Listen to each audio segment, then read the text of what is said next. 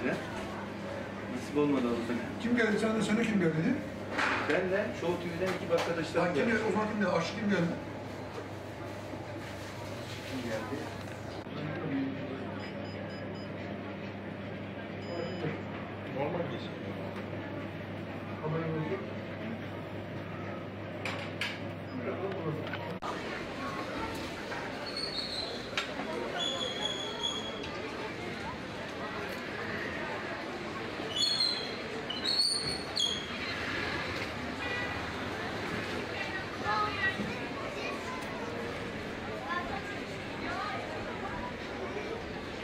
81 ilde yasaklanan COVID-19 kısıtlaması ve kısıtlama sonrası ile ilgili Uşak sokaklarındayız. Ve Uşak sokaklarında gıda sektörü de yavaş yavaş bir hareketlenme var. Bununla ilgili şu anda bir hanımefendiyle beraberiz.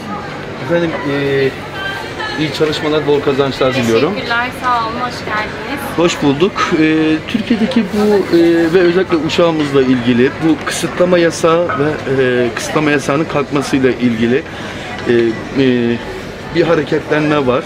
Bununla ilgili bizlere neler söylemek istersiniz efendim? Şöyle bir süreç, yaklaşık 3 aydır bu süreçteyiz ve e, Uşak'ın göz bebeği olan yerde diyelim, İsmet Paşa Caddesi'nde bir iş yerimiz var, işletme sahibiyim bu arada. E, süreçten biz bayağı bir kötü etkilendik. Malum İsmet Paşa Caddesi kapalıydı. E, açıkçası şöyle, e, Vali Hanım'ın dediği gibi e, çok boş gezen insanlar vardı. Onlar yüzden caddede kapandı, bizim de ilişkilerimiz çok etkilendi. E, şu bir haftadır bir kıpırdama var. İnşallah biz de güzel olarak etkileneceğiz. Yavaş yavaş ama bizi çok kötü etkiledi. Yani inanın e, iki ay istihdam yapmadım. Yani geliyordum, gidiyorum, açıyordum ama tabii ki hiç kimse gelmiyordu. Malum içeride oturtamıyorduk. Al, geç de e, izin verilmiyordu. E, verildiği zamanlarda da insanlar korkuyordu. Bu şekilde yani inşallah bu süreçte güzel atlatacağız. Tabii ki devletimiz yanımızdaydı. Valimiz her zaman geldi, her zaman ilgilendi. Ee, diğer devlet büyüklerimizden de bekliyoruz yani uşağımızla ilgilenen. Hiç biz e, göremedik yani. Biz de biraz ilgi alaka bekliyoruz esnaf olarak.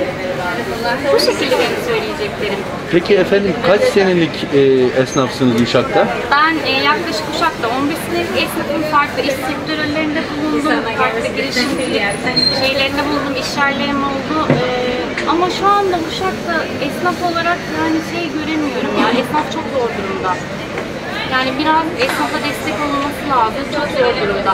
Yani şu an burası hani Uşak'ın Mecburiyet Caddesi olarak biliniyor ama e, biraz boş gezenler caddesi olarak yani inanın e, arka sokaklarda işler daha güzel ama bizim caddede insanlar sadece boş geziyor. Hani esnaf olarak bir şey bize bir getirisi yok. Malum e, dükkan kiralarımız da çok yüksek. Açıkçası benim kendi şahsım ait iş yerimin kirası çok yüksek ve dükkan sahipleri iş var yok anlamıyorlar. E, zor bir süreçten geçiyoruz.